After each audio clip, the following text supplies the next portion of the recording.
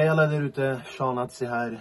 Um, sitter i våran studio här till Backa framåt och uh, försöker göra det bästa av situationen. Uh, många av er där ute har väntat på svar från oss hur det blir med Kians Baba-turnén som egentligen skulle börja den 3 april. Det skär mig verkligen i hjärtat att säga att vi måste skjuta fram hela turnén. Uh, vi kommer skjuta fram hela turnén. Den kommer börja återigen i september.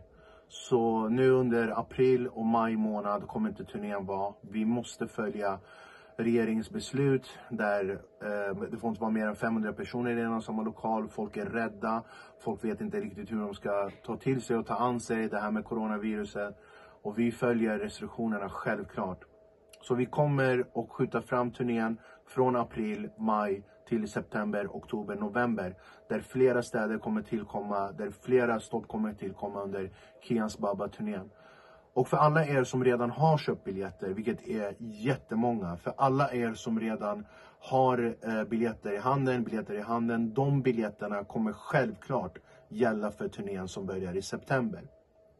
Vi kommer också lägga ner länkar här där ni kan gå in för mer information. Där ni kan gå in och läsa lite mer angående turnén, vilka datum det kommer bli. Men tyvärr, det skär mig verkligen i hjärtat. Jag såg så fram emot att göra den här turnén. Vi kommer att skjuta fram turnén från april, maj till september, oktober, november. Jag hoppas verkligen att ni förstår hur situationen är och jag uppskattar er alla som har köpt biljetter och nu tar vi tag i det här och när det är september och återigen Kians Baba är ute på turné, då hoppas jag verkligen se er alla och jag hoppas att vi gör den turnén till den största Shahanatsi-turnén någonsin. Jag älskar er alla, ta hand om varandra, kärlek, respekt.